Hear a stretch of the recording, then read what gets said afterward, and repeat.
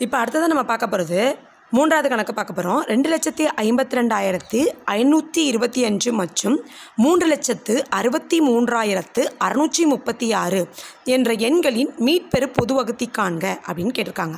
இப்போ யூக்ளிட்டினுடைய வகுத்தல் வழிமுறைப்படி நம்ம இதை இந்த கணக்கை செய்ய போகிறோம் ஏற்கனவே மீட்பெரு பொது வகுத்தியை கண்டுபிடிக்கிறதுக்கு யூக்ளிட்டினுடைய வகுத்தல் வழிமுறைப்படி செஞ்சுருக்கோம். இப்போ அதே முறையை இங்கேயும் பின்பற்றலாம்.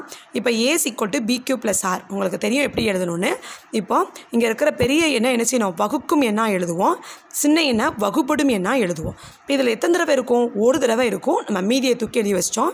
இப்போ இதை இதில் என்ன செய்யலாம்? இதில் அப்படியே நம்ம பிரதியிடும் போது நம்மளுக்கு கிடச்சிருக்குது. வகுக்கும் எண் வகுப்படும் எண் இங்கே கிடச்ச ஈவு இது வந்து மீதி. இப்போ அடுத்ததான் ஸ்டெப் டூவில் பாருங்கள் வெளியில் கிடச்ச எண்ணெய் தூக்கி உள்ளே போடுவோம். இங்கே இருக்கிற மீதியை தூக்கி வெளியில் போடுவோம். இதில் எத்தனை தடவை இருக்கலாம்? ரெண்டு தடவை இருக்கலாம். அப்போ ரெண்டு தடவை நம்ம பெருக்கி எழுதும் போது நம்மளுக்கு கிடச்சிருக்கிற மீதி முப்பதாயிரத்து முந்நூற்றி மூன்று. இப்போ இதை இங்கே எழுதுவோமா? அப்போ இங்கே எழுதும் போது ரெண்டு லட்சத்தி ஐம்பத்தி ரெண்டாயிரத்தி ஐநூற்றி இருபத்தி ஐந்தை இங்கே கிடைக்கிற வகுக்கிறோம். இங்கே ஈவு ரெண்டு வந்திருக்கு. மீதியை தூக்கி எழுதி வச்சிட்டோம். அடுத்ததாக என்ன போகிறோம் ஸ்டெப் த்ரீக்கு போகிறோம் ஸ்டெப் த்ரீயில் நினச்சினோம் வெளியில் இருக்கிறத தூக்கி உள்ளே போடணும். மீதியை தூக்கி வெளியில் போடணும். இதில் கிட்டத்தட்ட எத்தனை தடவை இருக்கலாம்? மூன்று தடவை இருக்கலாம். இப்போ மூன்றால் நம்ம பெருக்கி மூன்றால் பெருக்கினா இந்த ஆன்சர் கிடச்சிருக்கு. இதிலேருந்து நம்ம மீதியை கழிச்சு வச்சுட்டோம். இப்போ இதையும் தூக்கி இதில் எழுதி வச்சுக்குவோமா? இங்கே என்ன இருக்குது? வகுக்கும் எண்ணெய் தூக்கி வெளியில் போடணும். வகுப்படும் எண்ணெய் தூக்கி இங்கே எழுதணும். ஈவை இங்கே எழுதுகிறோம் இப்போ இது ரெண்டால் பெருக்கும் போது நம்மளுக்கு மீதி இது கிடச்சிருக்கு. இப்போ ஸ்டெப் த்ரீ முடிஞ்சிச்சு அடுத்த ஸ்டெப் நாலு பார்க்குறீங்க இப்போ என்ன செய்யணும்? வெளியில் இருக்கிறத தூக்கி உள்ளே போடுவோம். மீதியை தூக்கி வெளியில் போட்டோம். இதில் கிட்டத்தட்ட எத்தனை தடவை இருக்கலாம்? ஒரே ஒரு தடவை. மீதியை கழித்து எழுதியாச்சு. இப்போ இங்கே எழுதுவோமா? இங்கே இருக்கிற வகுக்கும் என்னை தூக்கி எழுதுங்க. அதுக்கு இங்கே எதால் வகுத்தமோ அதை தூக்கி எழுதிட்டோம். ஈவை தூக்கி எழுதியிருக்கிறோம். மீதியையும் எழுதியாச்சு. இப்போ கடைசி ஸ்டெப்பில் நம்மளுக்கு ஜீரோ கிடைக்குது. இங்கே பாருங்கள் வெளியில் இருக்கிறத தூக்கி உள்ளே எழுதுகிறோம் மீதியை தூக்கி வெளியில் எழுதுகிறோம் எத்தனை தடவை எத்த ரெண்டு தடவை இருக்குது. இப்போ மீதி நம்மளுக்கு எத்தனை கிடச்சிருச்சு? ஜீரோ கிடச்சிருச்சு. உங்களுக்கு தெரியும் கடைசியாக எந்த எண்ணால் வகுத்தமோ அதுதான் என்னது? மீட்பெரும் பொது வகுத்தி. அப்போ இந்த ரெண்டு நம்பருடைய மீட்பெரும் பொது வகுத்தி என்னது? பத்தாயிரத்து நூற்றி ஒன்று. இப்போ அடுத்ததாக நம்ம செய்ய போகிறது நாலாவது கணக்கு. பதிமூணாயிரத்தி எண்ணூற்றி இருபத்தி நாலு ஈக்குவல்ட்டு ரெண்டின் அடுக்கு ஏ பெருக்கல் மூன்றின் அடுக்கு பி எனில் ஏ மற்றும் பியின் மதிப்பு காண்க அப்படின்னு கேட்டிருக்காங்க. இப்போ நம்ம என்ன செய்ய போகிறோம் அப்படின்னா பதிமூணாயிரத்தி எண்ணூற்றி இருபத்தி நாலு பகா எண்களினுடைய பெருக்கர் பலனாக எழுத போகிறோம் எழுதலாமா? பதிமூணாயிரத்தி எண்ணூற்றி இருபத்தி நாலு. டானா சேஃபில் நம்ம இப்போ நம்ம வகுக்கலாம். இப்போ நாலில் முடிகிறதுனால ரெண்டால் நம்ம என்ன செய்யலாம்? வகுக்கலாம். பகா எண்களால் தான் கண்டிப்பாக காரணிப்படுத்தணும். அப்போ எத்தனை தடவை இருக்கும்? பதிமூணில் ரெண்டு ஆரெண்டா பன்னெண்டு. ஸோ ஒன்று போடுவோம்.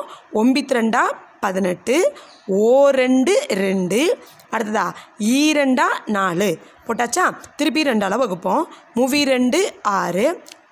திருப்பி ஒம்பதில் ரெண்டு எத்தனை தடவை இருக்கும்? நாலு ரெண்டா எட்டு. மீதி ஒன்று போடலாம். பதினொன்றுன்னு எடுத்துக்கிடணும். பதினொன்றில் ரெண்டு எத்தனை தடவை இருக்கும்? ஐ பத்து. மிச்சம் ஒன்று இருக்கும். பன்னிரெண்டுன்னு எடுத்துக்கோங்க. அப்போ எத்தனை தடவை இருக்கும்? ஆ ரெண்டா பன்னெண்டு. திருப்பி ரெண்டு அளவுக்குலாமா? ஓ ரெண்டு ரெண்டு மிச்சம் ஒன்று பதினான்கு. அப்புறம் பதினாலு ரெண்டு ரெண்டு எத்தனை தடவை இருக்கும்? ஏழு ரெண்டா பதினாலு. திருப்பி ஐந்து எடுங்க. ஐந்தில் ரெண்டு எத்தனை தடவை இருக்கும்? ஈ ரெண்டா நாலு மிச்சம் ஒன்று பதினாறு. அப்போ எட்டு ரெண்டா பதினாறு. திருப்பி என்ன செய்யலாம்? ரெண்டு அளவு வைக்கலாமா? அப்போ என்ன செய்யணும்? பதினேழில் ரெண்டு எத்தனை தடவை இருக்குதுன்னு பார்க்கணும். அப்போ பதினேழு ரெண்டு எட்டு ரெண்டா பதினாறு. ஸோ ஒன்று பனிரெண்டு ஆறுண்டா பன்னெண்டு எட்டில் ரெண்டு எத்தனை தடவை இருக்கும்? நாலு ரெண்டா எட்டு. திருப்பி என்ன செய்யலாம்? வகுக்கலாமா? ரெண்டாலே வகுப்போம். ஏன்னா இதெல்லாம் ரெட்டப்படையில் முடியக்கூடியதுனால ரெண்டுங்கிற பகாயினால் நம்ம என்ன செய்யலாம்? ஈஸியாக வகுக்கலாம். நாலு ரெண்டா எட்டு. மூவி ரெண்டு ஆறு. ஈ ரெண்டா நாலு. திருப்பி ரெண்டால் போடுவோம். ஈ ரெண்டா நாலு. ஓ ரெண்டு ரெண்டு. மூணில் ரெண்டு ஒரு தடவை இருக்குது மீதி ஒன்று வருது. இப்போ பனிரெண்டு. ஆறடா பன்னெண்டு அப்படின்னு வரும். அடுத்த என்ன செய்யலாம்? திருப்பியும் ரெண்டாலேயே வகுப்போம். ஓ ரெண்டு ரெண்டு. இப்போ அடுத்ததாக பாருங்கள் ஒன்றில் ரெண்டு இருக்கா? இல்லை. அப்போ இந்த இடத்துல சீரோ போடணும். அடுத்ததான் இப்போ நம்ம பதினாறுன்னு எடுத்துக்கணும். பதினாறில் ரெண்டு எத்தனை தடவை இருக்கும்? எட்டு ரெண்டா பதினாறு. திருப்பி ரெண்டால் வைக்கலாமா? ஐ ரெண்டா பத்து.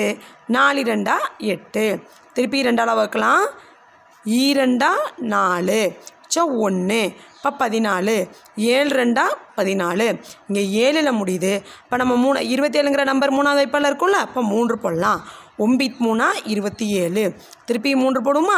இப்போ மும்மூணா ஒம்பது. திருப்பி மூணு போடுறோம். ஒரு மூணு மூன்று. இப்படி ஒன்று வர்ற வரைக்கும் நம்ம என்ன செய்யணும்? வகுக்கணும். இப்போ பதிமூணாயிரத்தி எண்ணூற்றி இருபத்தி நாலு பகா எண்களினுடைய பெருக்கர் பலனாக எழுத போகிறோம் ரெண்டு பெருக்கல் ரெண்டு பெருக்கல் ரெண்டு பெருக்கல் ரெண்டு. அடுத்ததான் ரெண்டு பெருக்கல் ரெண்டு.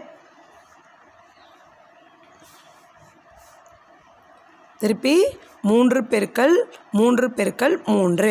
இப்போ ரெண்டு இங்கே எத்தனை தடவை வந்திருக்குன்னு பாருங்கள் ஒன்று ரெண்டு மூன்று நான்கு ஐந்து ஆறு ஏழு எட்டு ஒன்பது தடவை வந்திருக்கு. அதுமாரி மூன்று எத்தனை தடவை வந்திருக்குன்னு பாருங்கள் மூன்று தடவை வந்திருக்கு. இப்போ நம்ம கணக்கில் பதிமூணாயிரத்தி எண்ணூற்றி இருபத்தி ஏழை எப்படி எழுதியிருக்காங்க? ரெண்டின் அடுக்கு ஏ மூன்றின் அடுக்கு பின்னு எழுதியிருக்காங்க. இப்போ இங்கே ஏக்கு பதிலாக நம்மளுக்கு என்ன கிடச்சிருக்கு? ஒன்பது கிடச்சிருக்கு. பிக்கு பதிலாக இப்போ நம்மளுக்கு என்ன கிடச்சிருச்சு? மூன்று கிடச்சிருச்சு. அப்போ ஏயின் மதிப்பு எத்தனை? ஒன்பது. பியின் மதிப்பு எத்தனை மூன்று. இவ்வளோதான் இப்படி தான் என்ன செய்யணும்? பகா எண்களினுடைய பெருக்கற் பலனாக எழுதி ஏயினுடைய மதிப்பையும் பியினுடைய மதிப்பையும் கண்டுபிடிக்கணும். இப்போ அடுத்ததாக நம்ம ஐந்தாவது கணக்கு பார்க்க போகிறோம் பி ஒனினுடைய அடுக்கு எக்ஸ் ஒன் பெருக்கல் பி டூவினுடைய அடுக்கு எக்ஸ் டூ பெருக்கல் பி த்ரீனுடைய அடுக்கு எக்ஸ் த்ரீ பெருக்கல் பி ஃபோரினுடைய அடுக்கு எக்ஸ் ஃபோர். சீக்வல் டு ஒரு லட்சத்தி பதிமூன்றாயிரத்தி நானூறு அப்படின்னு கொடுத்துட்டாங்க. இங்கே P one P two P three P four என்பன ஏறுவரிசையில் அமைந்த பகா எண்கள் அப்படின்னு சொல்லிட்டாங்க. மற்றும் x one x two x three x four என்பன முழுக்கள் எனில் P one P two P three P four மற்றும் x one x two x three x four ஆகியவற்றின் மதிப்புகளை காண்க அப்படின்னு நம்மகிட்ட கொஸ்டின் கேட்டாங்க. இப்போ நம்மகிட்ட கணக்கில் கொடுத்துருக்கிறது என்ன அப்படின்னா இப்போ இங்கே கொடுத்துருக்கிற நம்பரை இப்போ நம்ம என்ன செய்ய போகிறோம் பகா கர்ணிகளுடைய பெருக்கற்பலனாக எழுத போகிறோம் இதில் P one P two P three P ஃபோரை பகா எண்களாகவும் x one x two x three என்பன முழுக்களாகவும் நம்ம இப்போ என்ன செய்யணும்? எழுதணும். இவ்வளோ தான் இப்போ ஒரு லட்சத்தி பதிமூணாயிரத்தி நானூறை. இப்போ நம்ம என்ன செய்ய போகிறோம் டானா ஷேப்பில் பார்க்கலாமா? கடைசியில் சீரோவில் முடியறதுனால ரெட்டை எண்ணால் நம்ம என்ன செய்யலாம்? ரெண்டால் என்ன செய்யலாம்? இது வந்து ரெட்டை எண்கிறதுனால ரெண்டான பகா கண்ணிப்படுத்தலாம். ஐ ரெண்டா பத்து ச ஒன்று பதிமூன்றுன்னு இருக்கும் ஆ ரெண்டா பன்னெண்டு ச ஒன்று ஏழு ரெண்டா பதினாலு. ஜீரோ சீரோ போட்டுக்கலாம். இங்கே சீரோவில் முடியறதுனால திருப்பி ரெண்டால் வகுத்துக்கலாமா ஈ ரெண்டா நாலு ச ஒன்று இருக்கும் எட்டு ரெண்டா பதினாறு முவி ரெண்டு ஆறு. ஸோ ஒன்று ஐ ரெண்டா பத்து ஜீரோ போடுறோம். திருப்பி நம்ம ரெண்டு அளவு வைப்போமா? ஓரன் ரெண்டு நாலு ரெண்டா எட்டு.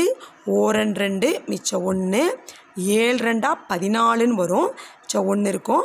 ஐ ரெண்டா பத்துன்னு போடலாம். இப்போ இங்கே பாருங்களேன். எப்போவுமே ஒரு எண் ஐந்தால் முடிஞ்சிச்சுன்னா ஐந்தால் வகுக்கிறது தான் ஈஸியாக இருக்கும். இப்போ ஈரஞ்சா e பத்து. இங்கே நாலுன்னு இருக்கும். எட்டஞ்சா நாற்பது. மிச்சம் ஒன்று. பதினேழு.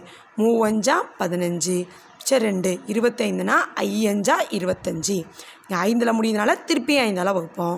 ஐயஞ்சா இருபத்தஞ்சி மிச்சம் மூணு. ஆரஞ்சா முப்பது மிச்சம் மூணு. ஏழஞ்சா முப்பத்தஞ்சு. இங்கே ஏழுங்கிற நம்பரில் முடியுது. அப்போ நம்ம எதால் வகுக்கலாம்? மூன்றால் வகுப்போமா? ஒரு மூன்று மூன்று. மிச்சம் இரண்டு. எட் மூணா இருபத்தி நாலு மிச்சம் என்ன இருக்கும் ரெண்டு. ஒம்பித் மூணா இருபத்தி ஏழுன்னு போடுறோம். திருப்பி என்ன செய்யலாம்? மூன்றாவது வைப்பாடை போடலாமா? ஆறு மூணா பதினெட்டு மூணா ஒம்பது. திருப்பி மூணாவது வைப்பாடு போடுறோம். இரு மூணு ஆறு ஒரு மூணு மூன்று. திருப்பியும் மூன்றாவது வைப்பாடு. ஏழு மூணா இருபத்தி ஒன்று. இப்போ ஏழுங்கிற பகாயன் கிடச்சிருச்சு. சரி நம்மளுக்கு சொன்னதுனால இதை நம்ம எப்படி எழுதணும்? ரெண்டு ரெண்டு பெருக்கள் ரெண்டு பெருக்கள் ரெண்டுன்னு எழுதியாச்சு. அடுத்ததாக மூன்று எழுதுவோமா? மூன்று பெருக்கள் மூன்று திருப்பி மூன்று பெருக்கள் மூன்றுன்னு எழுதலாம். திருப்பி ஐந்து பெருக்கல் ஐந்து பெருக்கல் ஏழு அப்படின்னு எழுதிக்கலாம். இப்போ ரெண்டு எத்தனை தடவை இருக்குது மூன்று தடவை இருக்குது மூன்று எத்தனை தடவை இருக்குது நாலு தடவை இருக்குது ஐந்து ரெண்டு தடவை இருக்குது ஏழு ஒரு தடவை இருக்குது இப்போ நம்ம கணக்கில் என்ன கேட்டிருக்காங்க? P one P two P three P four அப்படின்னு கொடுத்துருக்காங்க. அப்படி தானே பி ஒனின் அடுக்கு எக்ஸ் ஒன் பி டூவினுடைய அடுக்கு எக்ஸ் டூ அடுத்தா பி த்ரீனுடைய அடுக்கு x one x two x த்ரீன்னு கொடுத்துருக்காங்க. பி ஃபோரினுடைய அடுக்கு எக்ஸ் ஃபோர் அப்படின்னு கொடுத்துருக்காங்க. இப்போ இங்கே பி ஒன்றுனா என்ன இருக்குது பி ஒன்றுங்கிற இடத்துல என்ன இருக்குது ரெண்டு. அடுத்தா பி டூவினுடைய இடத்துல என்ன இருக்குது மூன்று. அடுத்து பி த்ரீனுடைய இடத்துல என்ன இருக்குது ஐந்து. அடுத்தா பி ஃபோரினுடைய அடுக்கு என்ன இருக்குது ஏழுன்னு இருக்குது அடுத்தா ஏ. அடுத்த எக்ஸ் ஒன்னினுடைய இடத்துல மூன்று எக்ஸ் டூவினுடைய இடத்துல நான்கு எக்ஸ் த்ரீனுடைய இடத்துல ரெண்டு எக்ஸ் ஃபோரினுடைய இடத்துல ஒன்று கிடைக்குது. இப்படி தான் என்ன செய்யணும்? P one P two P three P ஃபோரினுடைய மதிப்பையும் x one x two x three x ஃபோருடைய மதிப்பையும் கண்டுபிடிக்கணும்.